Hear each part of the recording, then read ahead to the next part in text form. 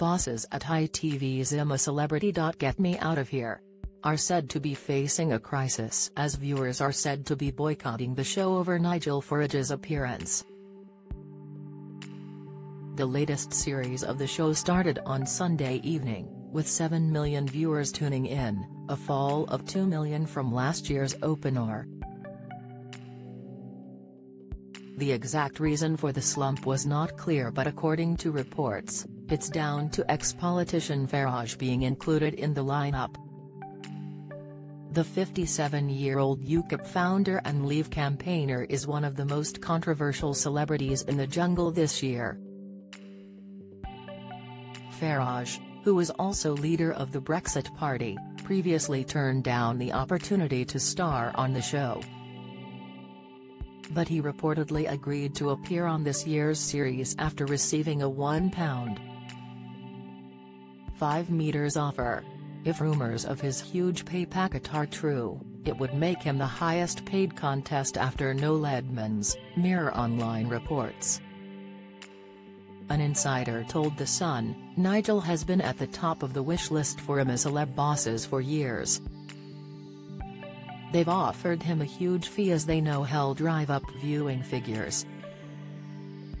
Ant and Dec will love this signing. Nigel's the ultimate Marmite character after his time on the Brexit frontline and won't hold back in camp discussions. Ant and Dec already appear to have already taken a swipe at divisive Farage. In a hilarious moment on Sunday evening's show, the duo suggested nobody would miss him while he was away from his hosting gig on GB News.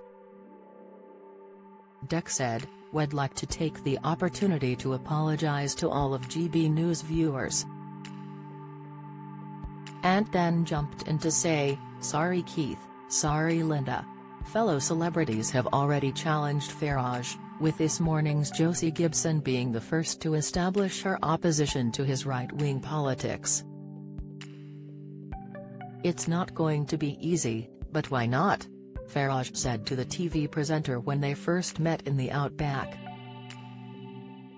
Josie was quick to address the Kent native's 2016 campaign to leave the EU, responding, can't be worse than Brexit.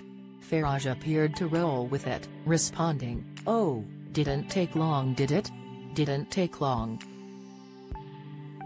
I had a feeling we'd get a bit of that before the 38-year-old assured him she was only joking.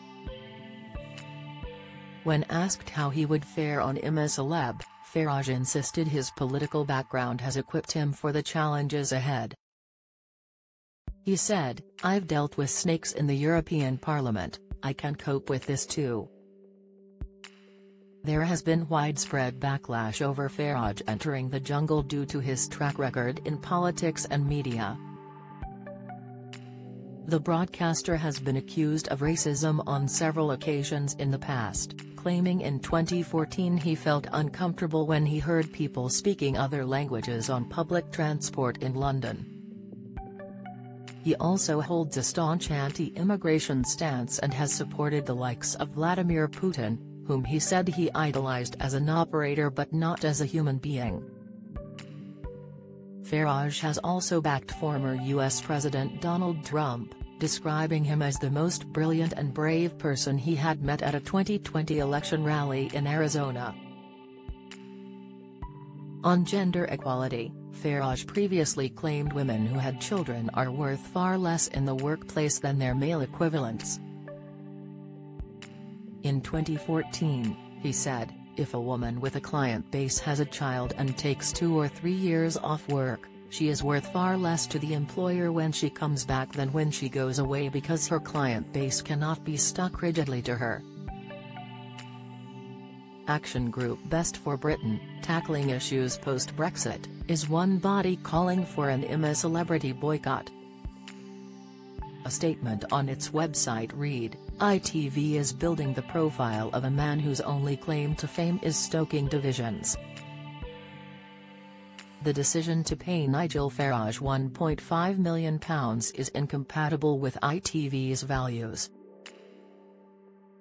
It's time to ask Ant and Dec if they're comfortable presenting a program promoting this man. and to pledge not to watch until Farage is ruled out.